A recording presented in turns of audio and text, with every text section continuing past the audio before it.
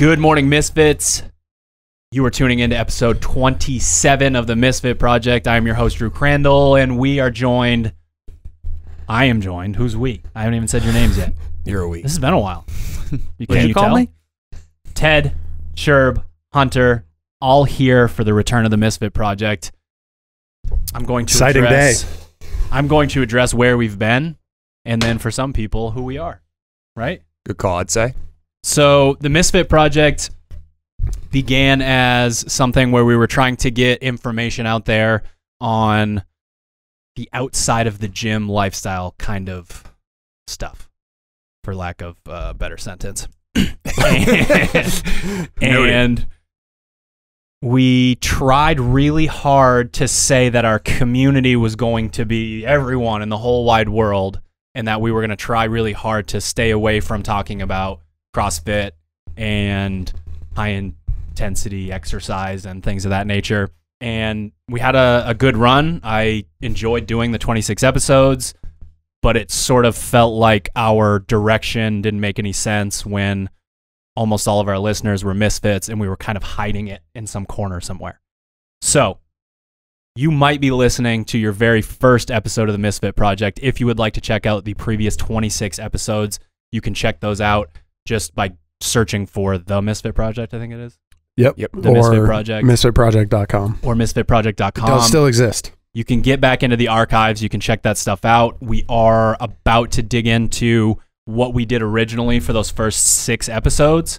Um, so you do not need to listen to those. We're we're gonna do a little bit of a recap when it comes to that, and we're gonna immerse ourselves in the community that is our community, the people that we want to talk to, the people that we want to present this information to. And if it trickles out and you guys share it with other people, then that's a win-win.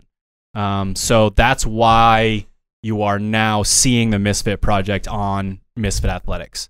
Um, and the idea behind sort of the Misfit podcast, the Unprepared podcast, the Misfit Project podcast, all being in one place is we're trying to make sure that people can find it because that's what's really important for us to make sure that if we're going to make this stuff that we get it out to people and then you out there listening, watching, whatever you're doing, can tell us what you think of what we're doing as opposed to, again, trying to hide it somewhere. It uh it also serves to kind of mix up the content a little bit. Absolutely. Um our podcasts sometimes fall into this groove of news podcasts talking about cycles and, and whatnot. And I think it's it's good for us to try to show who we are in a more personal way instead of just talking about the website, kind of talking about other topics that can go along to help the people that follow. I couldn't agree more. And and I think we had that original intent. It was just one of those things where we really wanted it to take hold, you know, to maybe even bring people into our community. Yep. And um, one thing that I will say that that's really important, I've gotten a lot of messages about this over the last year. Where's the Misfit Project? And I've actually gotten even more people in person talk to me at Wodapalooza, at training camps, at different places. And you guys are the reason why we're jumping back into this. Um, if you came and talked to me and you thought that it was, you know, hard to approach us, bring the topics up. I know, I know some of you had some really deep and personal conversations with me, which, you know, really helped me kind of understand the impact that we were having. Um, thank you very much. And if you didn't have that conversation and you wanted to, please do so in the future. We're super approachable. Uh, like to to meet everyone, talk to everyone, all that good stuff. So, uh, thank you to everybody that reached out and and is asking for this stuff to come back. It is back, and we're gonna do our best to to kind of follow a two three times a month schedule. Um, the potentially even more exciting thing is we are in the near future going to start offering health coaching. We talked about it fairly often in the in the previous 26 episodes about trying to set up a system where we can get health coaching out to people. And in the not so distant future we are going to be accepting 10 clients. So keep your eyes out for that application. Um, it's going to sort of be that first run to make sure that that we're happy with the product and we're happy with the relationships we're creating. And we'll find out from there how scalable it really is how many people we can bring in but keep your eyes out for health coaching um, i know a lot of people would want to know what that is and specifically if it involves nutrition coaching yes, that is a part of it. Um, so if you've been looking for that from the Misfit Athletics team for a while, that is going to be available, but it's part of a bigger package. And if you listen to these episodes that are coming up, you'll kind of get a better idea of of what we're after. So, episode 27, aka episode 1 of the reboot of the Reboot. Misfit project is all about tribes. That that basis for for everything that we talk about with the Misfit project is the tribes. And so I can shut up for at least 10 seconds. I want one of you guys to just take the reins and talk a little bit about what effect your personal relationships have on your life. I mean, obviously, we're involved with, uh, we're in a place like this, Misfit HQ, where community is really important. Um, I mean, I've picked a profession that has me dealing with people constantly, day in and day out. And for me, like, and you know, being a, a gym owner too, it's that you create this atmosphere of people you want to be around and who seem to tend to navigate or you know latch onto your personality. And if that's not a positive environment, like you're not going to enjoy what you do. So this like topic specifically is super important to me because you know if you want to be the most productive, healthiest human being you can, like having negative people or negative concepts or negative like feelings around you is just not conducive to one enjoying your life and two being able to you know give back to other people so i mean if you project positivity out in the world you'll get it back so it's super important to me that like when i address someone or i have conversations it's always from an aspect of like positivity and making sure that if you're in my life that you're helping me and i'm helping you and i'm like a very uh, encouraging manner rather than like why are you doing the things that you're doing? Because you know you can only take so much of that and if you have that constantly going through your mind you're going to become a negative person you're not going to have as much enjoyment and a lot of bad you know, personal behaviors come from having negative relationships early on or essentially learn through your experiences so try to elicit as many positive experiences as possible and keeping positive people around you is important so that you i can actually stay happy which for me is super important Yeah, uh, you at the very end you talked about kind of my thought on it is that people inherently seek fulfillment in their life, their work, whatever. They're I think pretty much most people when you get down to it are seeking either work that is meaningful or just relationships that are meaningful and that stems from being around people who you uh who you you can associate with, who you have things in common with, who you want to spend time with, who you want to be around. And uh, there are people who you know get up, go to work every day, don't enjoy what they do, and then they come home and are either uh, either by themselves or not not happy with the situation they're in. And to me, like the selection of your tribe goes beyond just kind of who you hang out with. It's about what you're trying to what you're trying to get out of really your life, like as far as that fulfillment uh, making you making it feel like you've made a positive impact on other people through your life or whatever. I couldn't agree with you more. I mean, that's one of the reasons why I find what I do so rewarding being a CrossFit coach is that, you know, you have this opportunity to help people change their life for the better. And, you know, pursuit of money is great, pursuit of property, whatever, vacations, whatever you're into, that's great and all. But like for me, it's super important that I feel good about what I do and that I've changed someone's life. I mean, adding years onto someone's life or adding mobility back into their life is is humongous. And I feel like that makes my job like super rewarding. So like those days you're like, why am I still up? It's like 11 p.m. and I'm still answering messages from people who go to the gym. Like, yeah, some people would look at that as tedious, but for me, I look at that as like I'm building an environment and people around me that I want to be around and I'm helping them. In turn, they help me. So for me, it's just kind of like, you know, pay it forward because that's going to come back to you, you know, 5x, 10x, 50x, whatever. So this conversation is based upon how much of a, an impact personal relationships have on your health, you know, and we're we always go back and forth within the Misfit project from we can provide you with the numbers and the science, you know, if that's the way that your mind works. Um, but what we really love is when there's that intuitive piece and you start to feel what's going on in your life. That's going to be the most powerful. It's nice. We always joke it's nice to have the like dinner party facts ready um, because sometimes you really do need that to to kind of kick give win somebody that over. nudge a little Yeah, bit. Yeah, exactly.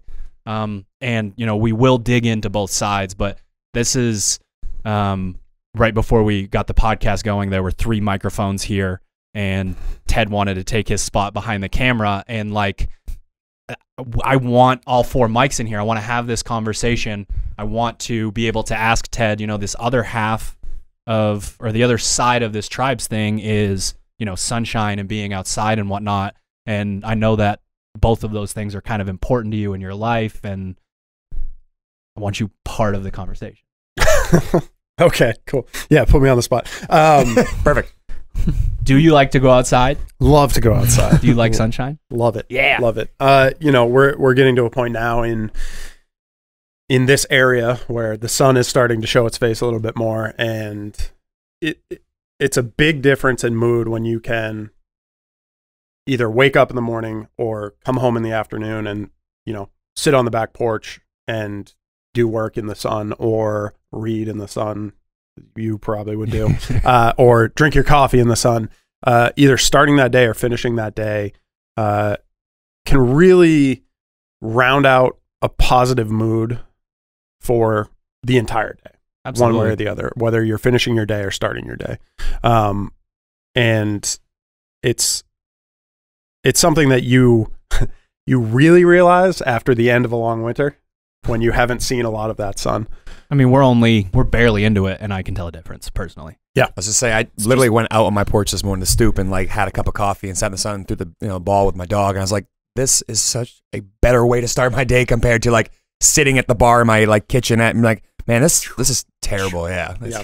exactly on that. it's phone. just it, it's just so demoralizing to wake up at like five o'clock in the morning and you're like it's it's freezing you like walk out to your car that's got frost all over it it's still pitch black out you're just like fuck what, am I, what am I what am I doing but when like the sun's coming up it's starting to get warmer like it can really like you said shape the way that you start and or finish your day Yeah. It's those days when it's 45 degrees out and the sun's out and it's after the winter and you're like, well, now it's t-shirt and shorts weather. yeah happens in Maine Yeah. all too often. People are listening, like, what the hell are you Yeah. talking about right now? yeah. After after suffering 6 months of bitter cold and darkness, it's it's when nice you're in that. a when you're in a community in a CrossFit gym, in a place that has the actually has the seasons, when that door starts to open up, more people start to Mood show up. The mood changes within the gym. More people stay after. yep you know they're doing Yeah. you know planks in the driveway kind of a thing like like everything kind of takes over and that we don't need to know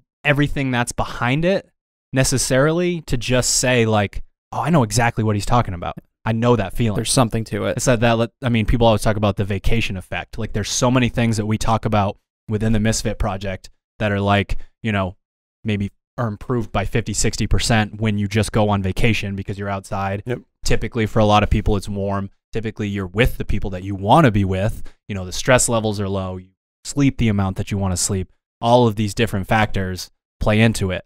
And when we can once again feel those changes like actually like take them in and like this is making a difference. And we sit here and we put out the information like hey that's not some sort of like coincidence. Like get out there and try to reverse engineer that situation. Yeah. You know what about your life when things are going well? Like what's changing? What's different? And that's kind of the idea behind ancestral health is we're in this terrifying obesity cancer diabetes you know heart disease epidemic you know in an insane scale in the united states and, and in a big scale in the rest of the world and you know, I talked about it the first time we did this episode, and I talk to people all the time about it. We don't need to argue over whether cavemen ate bread or not. Like that's not we're not you know the the paleo you know zealots or whatever. We're Yeah. not after that. What we're after is what went wrong. What were we doing right?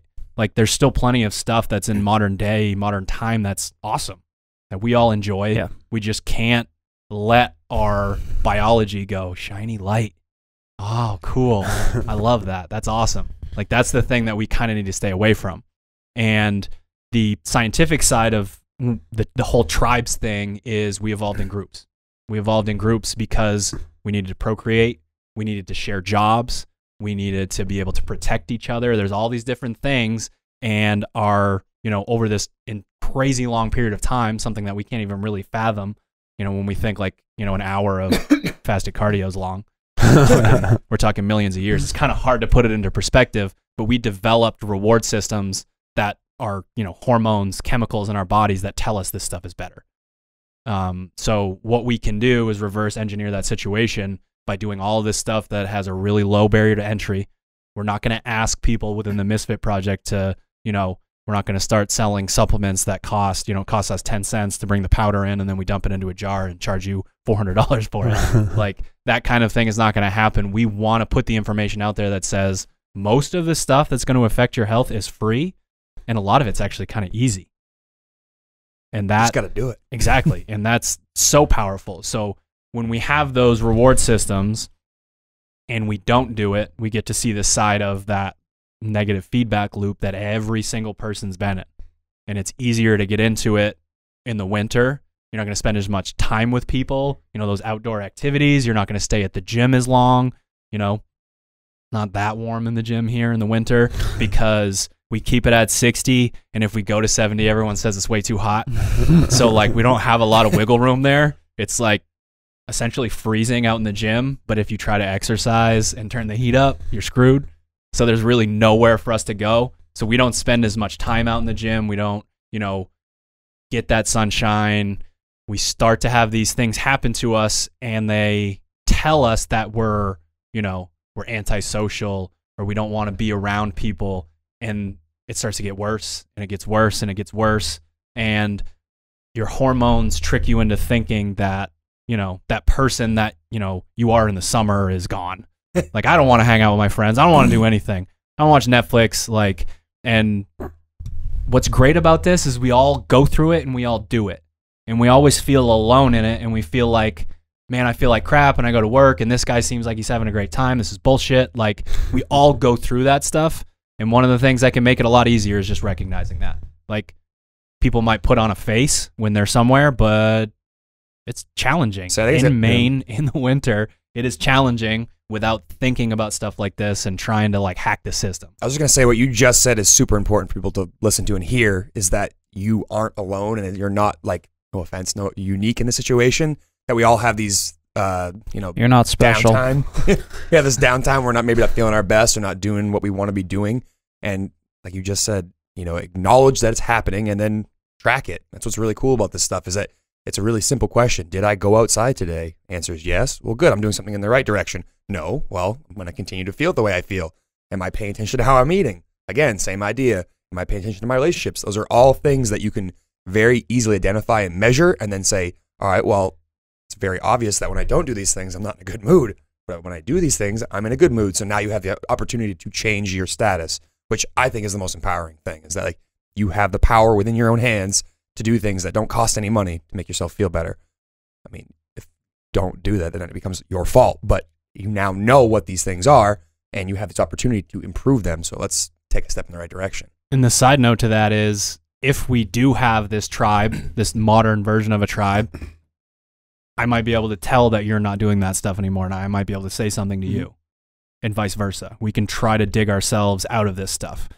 The the the tribe thing, what changes about it nowadays and what's really important to cover is like I don't know what tribes were like back in the day, but I know that there was a lot of I don't know, like murder and like like we don't need to we get to Every choose. aspect. we get to choose who's in our tribe that's Yep. this huge difference like think about you're born into a group of i don't know 20 30 people and there's no one for hundreds of miles and a lot of choices when it comes to that Stuck. like you're kind of stuck there and those reward systems are still built in but now we get to say this is a toxic relationship. Like there's a reason why we want to hold on to them. That's also an evolutionary thing that we can try to discard. But if we know that we can you know either improve a relationship like maybe you know maybe i'm the one that's causing the issue and i try to fix that but at the end of the day if we've put in the effort and this is has this huge negative impact on your life you have the ability to say bye or to like at least choose to you know if, if like let's say it's like a, a Work thing, family yeah. member or a work thing choose to just not go that route as often as you used to you don't feel as obligated to, to get into that kind of thing so the the modern tribe aspect is really important and that's a really you know we're talking about a lot of positive stuff right now auditing your personal relationships is not the easiest thing in the world it's challenging but it has a high level of importance Yeah. Well, the it- it's kind of interesting because I, I feel like a lot of people would say like oh we you know we've lost our that ancestral tribal kind of communal uh, aspect of our, our lives because of modern society. And that's that's probably true to a large degree but we we have a much better opportunity like you're saying to to be more selective about the people that we do that we choose to associate with and could the- should theoretically be able to build like a better kind of stronger tribe that is not concerned about you know being being hunted or killed or something like that going going way back you know and and like you said you can choose what situations you choose to put yourself in or who you choose to to associate with. It's just it's just kind of trying to find that find your tribe i guess. Yeah, and there's there's parts of it too that are just baggage, and you can really take care of that system. You you you might think that you wouldn't want to hang out with someone, but I'm just I keep going back to the gym out there. It's you know just on the other side of that wall is our CrossFit gym, and there's every single kind of person out there, and as a whole, you know all of these people are great. They're really fun to hang out with. You know, someone will have a birthday party and they throw it up in the in a Facebook group and you show up and like you realize that like just because you you know you were a little bit older now we kind of have a clean slate when it comes to those personal relationships that you can make a connection with a million different kinds of people. Right. You know for for lack of a better yeah term it just it just takes a small like conversation or you learn something something about that someone and that you have you like let it down for a yeah, second. yeah you may like you find a thread just a small thread to pull something you have in common with somebody else and and, and you keep pulling that thread and and over time you start to develop that kind of relationship Would you say there's value in compartmentalization a little bit? So, what I'm thinking is a lot of people's lives are 40 hours a week in a workspace. hmm A lot of times you can't change those people that you're working with. Uh, when I used to work for a big tech company, I won't be specific, it was a pretty stressful It's job. the biggest It's one of the biggest, yeah. Uh, it was a pretty stressful job, and you are constantly surrounded by people that are under heavy stress, always complaining constantly. mhm. When I left that job, there was a marked change in my life. So, what I'm, I guess, what I'm proposing is should somebody compartmentalize that work life versus their out of work life and find and latch on to a community outside of work that maybe be raises that water level. The high water raises all ships. I would I would say that um, we go back to can I improve this situation, and if I can't, can I like the maybe the stoicism part, like can I endure it? Right. And the improving the situation, we've had listeners of the Misfit Project say, my boss now will go with a walk with me at on a walk with me at lunch, and like some of us eat out at a picnic table, and moods have changed. So like, can you can you make that change? Is there anything you can do? Can you have empathy for that person or those people or that group and be like, what can I do to make this a better place to work? So kind of find that chink in the armor to break through Yes. and make a small change to start. Right. But you, I don't think it's necessary to take all of your mental fa- faculties when you're supposed to use them with your job to then like okay i'm gonna make this a better place to work i'm gonna get fired because i ain't doing shit like there's there's a certain level of i've tried i've tried to instill positivity here because i know that i've been one of the negative people sometimes. Can i do that? And if the answer is no it might be no. Like think about uh, like think about other countries where probably not a really good chance you know the the the factories where the people are they put nets out because people are jumping. Yeah. like that whole situation probably really hard to be the ray of sunshine in in that building. It probably is still possible something that you could do to help somebody else but i think that first step with those personal relationships is what can i do to make this better like a little bit of a look in the mirror and then at the end of the day you know what i'm going to look forward to this at the end of the day i'm going to look forward to that like that sort of thing the I won't go. So two of the three people at this table um, call me science bitch, and the other one might start calling me that at some No. point. You're kind of a science bitch too, though. yeah You can't make I more smarter. No. Um, so there was a study that examined data from more than 300,000 individuals that found that a lack of meaningful relationships increased the risk of premature death from all causes by 50%. Small number, right? I'll let that settle for a second. Those numbers surpass obesity, sedentary lifestyle, and even smoking upwards of a pack of cigarettes a day. Yeah, I read maybe maybe I just read the link that you sent, but something it, it's basically like you can almost I say this with a very large grain of salt. Almost disregard like modern health and nutrition guidelines and be pretty be pretty well off if you have kind of those relationships and tribal. Well, there's like that- also there's also the that correlation of typically when someone's feeling better, they're going to make better decisions. Yep. So those those Fair. things go together. And luckily for us, we don't we're not putting out information to that community. There's not a ton of people that smoke a pack a day that listen to this podcast. But I wish they would. there are probably people, well, yeah, so that, so that's the idea. There are people in their life that do. Yeah. Everybody knows somebody that smokes a pack a day. Everyone knows someone that smokes a pack a day. So can we like get our way in by just helping them have, you know, better social situations and then maybe that will help them quit? Like going straight for you're gross, you need to quit, not going to work. Like not going to work uh, at all. Yeah. People need to figure things out for themselves. Can you help them in some other way where you see an opening?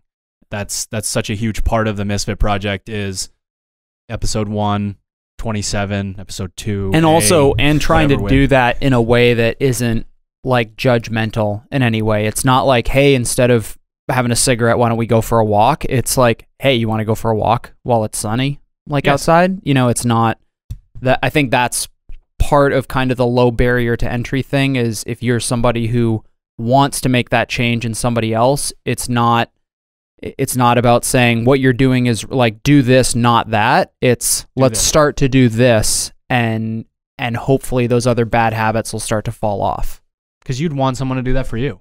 Yeah. Like you wouldn't want someone coming in yeah like and your goal yeah no me, shit but dude i know judgmental. smoking is bad for me like i don't you know i i know that's bad i know i'm overweight i like i don't need somebody to tell me that Right. like just positive positive reinforcement Yep. so So we've we've taken pretty deep dive into the personal relationship side. It's these themes will continue to pop up throughout this episode, throughout other episodes. The the kind of moving on now is talking a little bit more about the the scientific side behind sunshine. So really, really, really easy, low barrier to entry. Like this is as easy as it gets, I think. Maybe there's something else that you guys can think of. 10 to 20 minutes of sunshine between 10 a.m. and 3 p.m. will change your health in a profound way. I feel like unless you live near the poles, you don't really have an excuse. Like you might have the seasons, poles. like North or South Pole. You know what I'm saying? Like if you live, I mean, some of our friends in Iceland might only get an hour of sun a day, sometimes of the year. But it's true. one of those things where you know there, There are will be episodes on the workarounds. fantastic, no, not just the workarounds, but that the Scandinavian culture is fascinating. Happiest people on earth, no sunshine. I don't want to say no sunshine because they get that there's there's more to that. We'll get there though. We're gonna we're gonna leave that part on ice. No part. Hey. Ooh, zinger Yeah, there, there was a down. what do you got your. I cut you off. I cut you off, and No, I was just gonna say. I mean, outside of that situation, like you know, I think a huge part of this too is people need to realize that, like, say your day is super hectic, like you don't have to sit 20 minutes straight. You can go out in the morning with your dog, or go for a short walk that's five minutes long. Take a lunch break. I'm sure every job in America, at least, has a lunch break at some point in the day. Go for a little walk then, and then if you have time in the evening, go for another one before sunsets. Like, I, I mean, I, I relate this back to something as simple as someone who I work with that has diabetes, and I try to explain to them like the biggest thing we have to do here is just get you moving around. I don't need for you to do this all at once. Like you can split this up as much or as little as you'd like, but the important thing is that you get it done every single day and finding a way to make it work within your lifestyle. Because if you, like you said, if you come from a place of forcefulness, people aren't going to listen. You have to come from a place of like, hey, it's great that you got five minutes this week. Let's try for six this week. Let's keep it going. Like, Let's try to increase just a little bit. So, so for me, something like this, like if you can't set aside 20 minutes per day, that's okay. Split it up across the entire day because there's got to be points where you can walk outside or sit outside for just a few minutes, even if it's just a, you know, said you want to go for your water break, you go outside and take a couple deep breaths, and then go back and back back to work. So uh, Yeah, you're walking out to your car and you're like, oh, an kind of nice. like, yeah, sit on your trunk, sit on your tailgate, like just take a couple of minutes, do that a few times a day, and you're gonna get there. essentially all I had about sunlight. I mean, it's really cool when we get into the science part. I know you haven't got there yet, but some of the things that sunlight affects are so important for not only your mood, but just Some of the health. things you mean that D3 regulates upwards of 1,000 genes in your body. Yeah, that that thing, which is super super important because essentially it means you have the ability to take charge of you know some of these things that could otherwise go into del- deleterious effect, like where you're you know developing heart disease or cancer or stroke, and it, all you have to do is hang outside for 20 minutes a day, and you Mhm. get rid of all those things. Like, why wouldn't you? That stuff's free. Medicine to prevent some of these things is insanely expensive. I would go the free route if I were you. I mean, just from Truth. No. And the the cents. we I go back and forth on the whole like I'm leaning as I get older more towards like how much positivity can we put into this message. But there still are some people that scare tactics work. Like when you hear that lack of sunshine leads to depression, breast cancer, high blood pressure, heart disease, arthritis, and all kinds of other things. Those are all bad things. those are like that's scary, right? Yeah, But avoid for that. me personally, I like hearing that a healthy diet of sun increases testosterone, dopamine, serotonin, and immune function. Because we've got four males. I was gonna go in this this rant, but I'm not going to. Sitting at this table right now, and that first word, testosterone, that was was and is the lifeblood of of a male. When we're thinking of evolutionary terms, we gotta get outside, we gotta hunt, we gotta chase the animal down, we have to procreate. Like that's that's big. And that's that negative feedback loop that we're talking about. We do these things less and less and less at a certain point in the year because of maybe what's going on outside or maybe what's going on in our life. That starts to go down and that negative feedback loop starts. And it feels like this is just, this is who I am now. I'm sad and I don't want to lift weights anymore.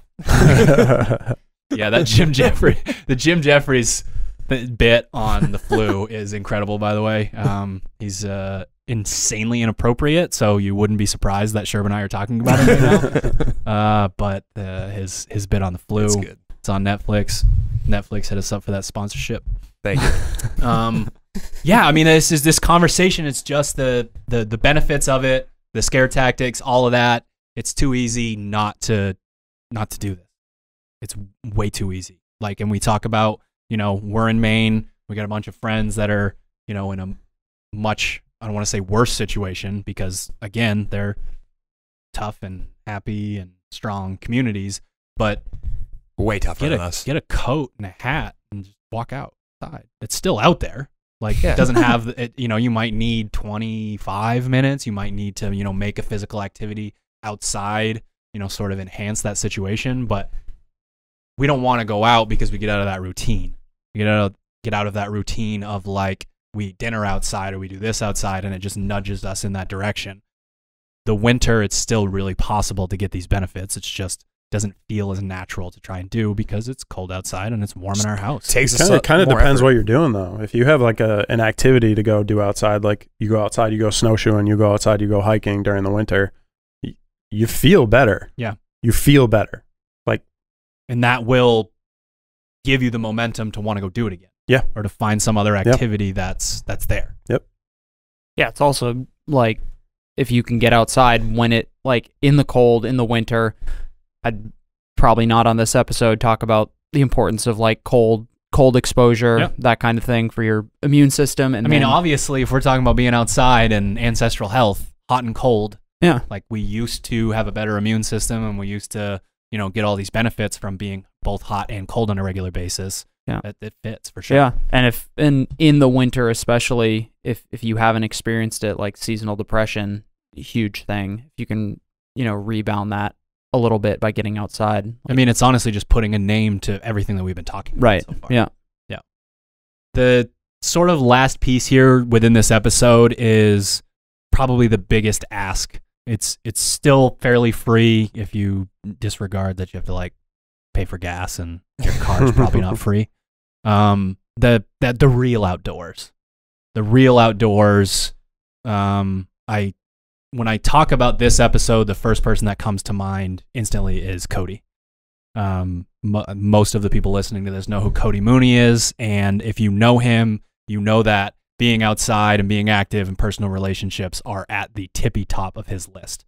He's always finding a way to be around people. If you know he's he's home and you're not around, he's driving somewhere else to see you know another group of people. Like that, it means a lot to him, and he's a pretty healthy dude. Yeah. Yep. You can just tell, like in terms of you know his mental and physical health, like he has a a lot of that just kind of figured out because he grew up that way, and he's now in New York City, and most of the posts you see of him, he's in Say, Central oh, Park. Central Yep. Park. It's the place he goes. And he loves. He got his apartment near Central Park on purpose. Like he loves going there, and it's actually a. It's big. Yeah. Central Park is like It's it's strange because you feel like you're not in the city when you're in the center of right. the city. Like, yeah. It's crazy. And he's drawn to that because of, you know, in my opinion, the theory is that the health benefits are there. And when he doesn't go there, he feels different. So he knows, okay, I want to go over there and do that thing. And the, the science behind it is, um, you know, it starts to get out further and further into the like, what is this guy talking about? But the, um, the, the studies where they did the people walking in the city versus walking in the forest and the natural killer cells, which are a type of white blood cell and are in our innate immune system, the two separate studies were done. One was on a group of males, one was on a group of females, and it showed a significant increase in those natural killer cells, commonly known as NK cells, that lasted for more than seven days in the group that walked in the forest versus the group that walked in the urban environment. We're talking about something that kills tumors, like this really powerful thing that is in our body that was normally in our body when we were walking through the forest. And, you know, we're talking about where is all this cancer coming from? We're, you know, here breathing pollution and who knows what. And, you know, that could be an episode all on its own. It's, it's, you know, pretty powerful stuff. But if we try to focus on the positive instead, going for a walk in the woods has a way to kill cancer cells in your body. So again, it is a bigger ask for some people.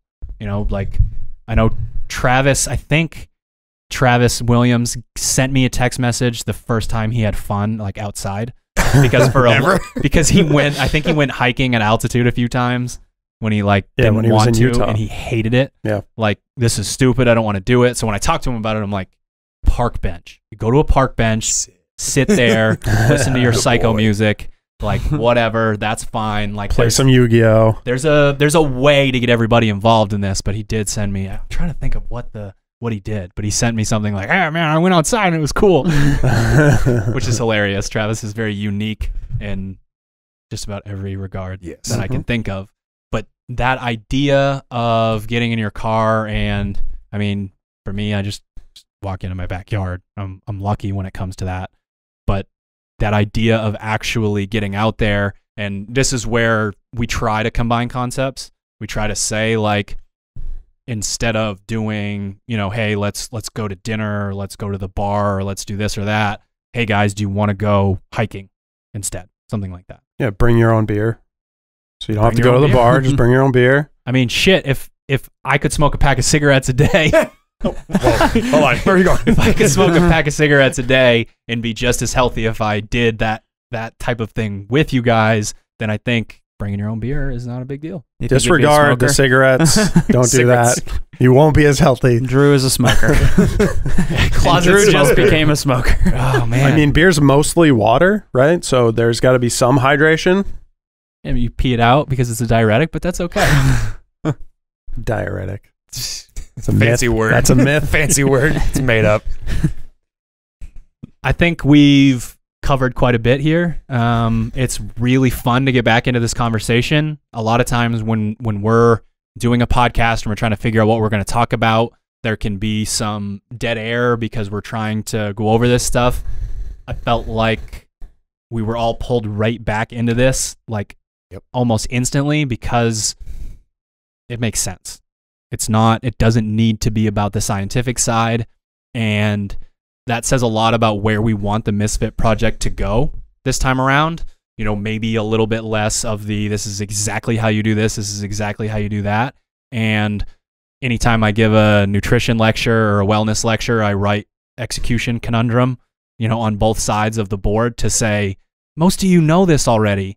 How do we do it? Yep. Like, what kind of attitudes do we need to adopt? Who can help us? How can I convince someone? How can you convince me? On and on and on. That's the type of conversation that we want to have with the Misfit Project. How do we help people make these decisions? How do we convince people to make these decisions?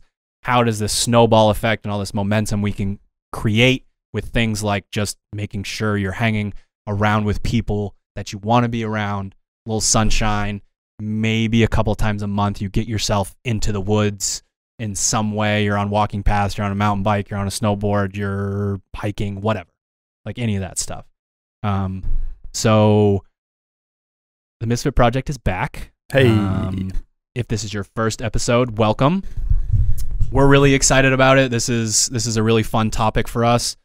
We will be back um, with a, a easily connectable topic next time. We'll be talking about sleep. Let's the go. sun has a huge effect on your circadian rhythm, and if you don't know what that means, we will get into it in the next episode. We hope you enjoyed it. Like, share, subscribe, comment, all that good stuff. Let us know what you think about the return of the Misfit Project. And if you like it, we'll keep doing it. See you next time.